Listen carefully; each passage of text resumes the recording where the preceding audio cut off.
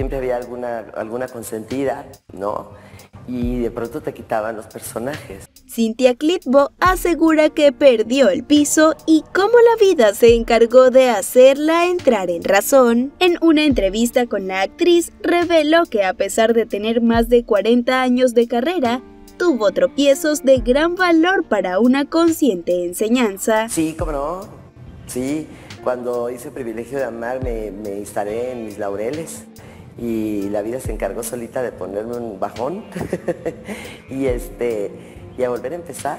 Clitbo compartió de qué manera volvió a recuperar la humildad luego de haber pisado las mieles del éxito. Pues acababa de terminar esa novela, eh, después vino la telenovela La Casa en la Playa que protagonicé y la novela no tuvo el éxito que se esperaba, entonces hubo que volver desde ceros, ¿no?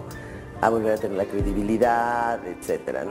Y después de que me embaracé, pues no volví a tener un antagónico nunca más. Cintia, quien inició su carrera al lado de grandes estrellas, confesó si en algún momento llegó a tener envidia. Uy, no, bueno, ¿cómo te explico? En esa época, este, era muy difícil porque siempre había alguna, alguna consentida, ¿no? Y de pronto te quitaban los personajes, ¿no? Por alguien. Entonces, pues yo no era consentida de nadie, no tenía que ver absolutamente con nadie. Entonces eh, me costó mucho trabajo, pero lo agradezco. La villana de novelas también confesó si está entre sus planes retirarse definitivamente de las pantallas.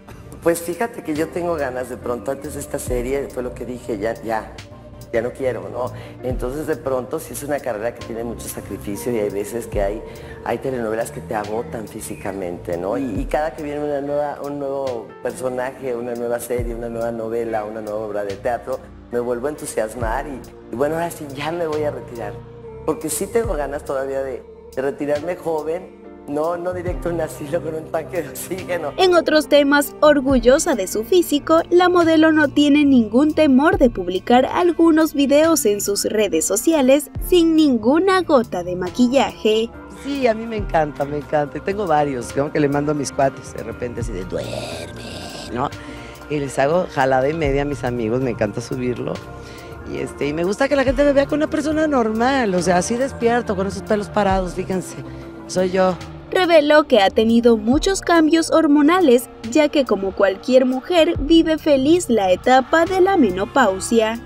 El bochorno, nada más, no lo soporto, por favor, pero de ahí en fuera este, es como un regresar a tu esencia, envolverte creativa, tendrá como una conciencia de qué quiero hacer en mi vida de aquí en adelante, como si, como si la volvieras a empezar.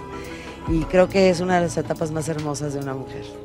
Gracias por visitarnos. Manita arriba y comparte si te gustó el video. Deja tu comentario aquí abajo. Síguenos en nuestras redes sociales para no perderte de concursos divertidísimos y contenido exclusivo.